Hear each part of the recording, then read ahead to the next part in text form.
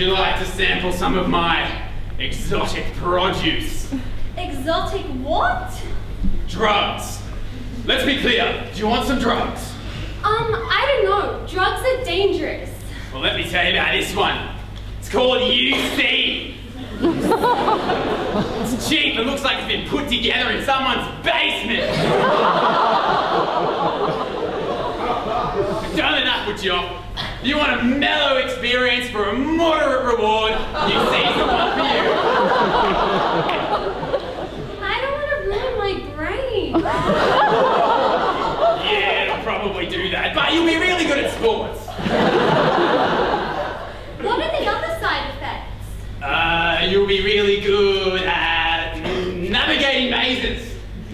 That's odd. Also, a slight aggression, not to mention the inferiority complex. Oh. You will desire sex with everything. Everything? Everything.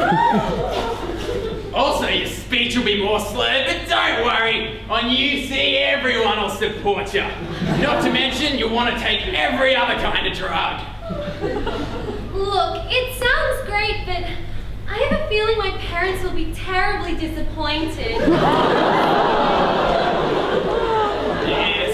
Probably true. Hey, what about this one? It's called ANU. Tell me about it. It's a shitload more expensive. You can take out a loan, but you'll be paying it off for the rest of your life. But the experience is far superior. You'll experience temporary hallucinations of grandeur and self-importance. but this does turn you into a dick. Especially will be unbearable. But I'll still like people who take ANU, right? Of course!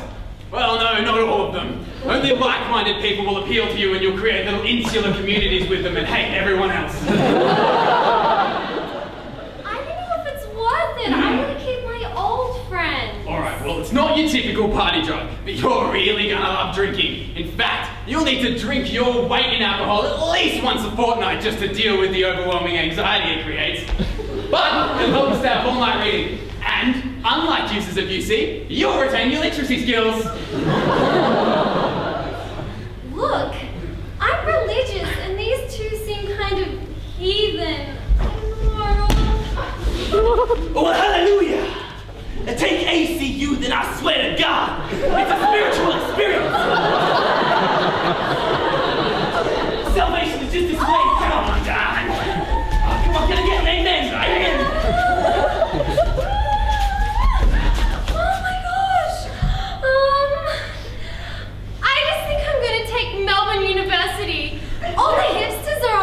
it. You got any CIT? Oh, come on, man, I don't sell that shit.